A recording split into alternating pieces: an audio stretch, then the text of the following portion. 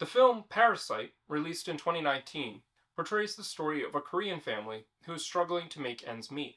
When a family friend tells the son about a job opportunity tutoring the wealthy Park family, the Kim family set up an elaborate scam through which they all get jobs working with the Park family. When the Park family are away on a camping trip, the Kim family discover a dark secret in the house, and the plot intensifies from there.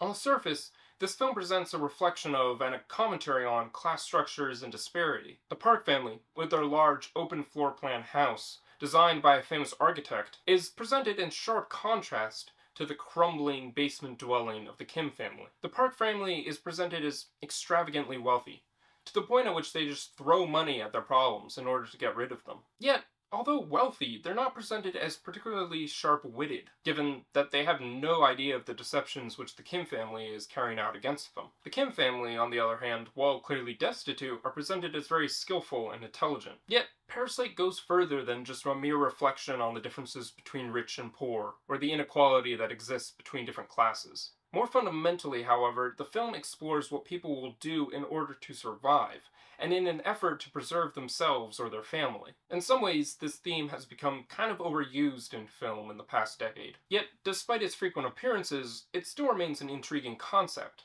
perhaps because of the number of ways in which it can be taken narratively, while still remaining realistic. However, there is an element of concern about how such a theme is presented. It is clear throughout the film Parasite that the Kim family are the protagonists, because the entire story is centered around them. In many ways also, they are presented in a very sympathetic light, no matter what kind of atrocities they may commit. There's a sense in which the narrative of the film attempts to almost subconsciously justify what they're doing. While the family begins by committing simple acts of fraud and deception, they end by committing very egregious acts of abuse and even murder. And these are presented within a framework which appears to imply that the crimes they commit are justified because they're poor, and they're simply doing what they need to in order to survive or protect their family. Even at the end, after the father of the Kim family has murdered the father of the Park family and is hiding in the underground bunker, the film pushes you to sympathize with him, or at least respect him, and root for his escape because it's good for children to be reunited with their parents. From a more technical perspective, the cinematography of this film was at times very masterfully carried out. As the film begins rapidly moving towards its conclusion,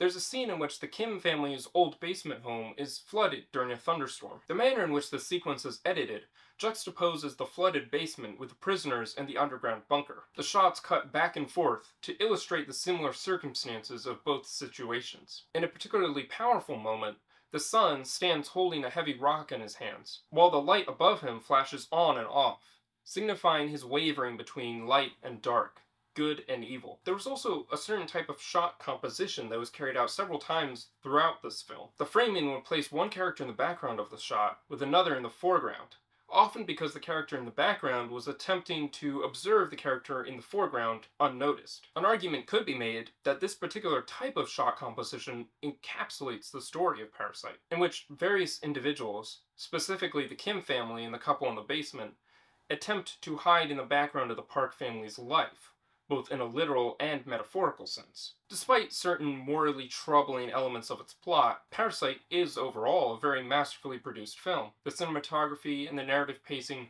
serve to make it a captivating story that is well worth watching. Overall, I'd give it an 8.5 out of 10. Thanks for watching, and be sure to subscribe for more movie reviews and commentary.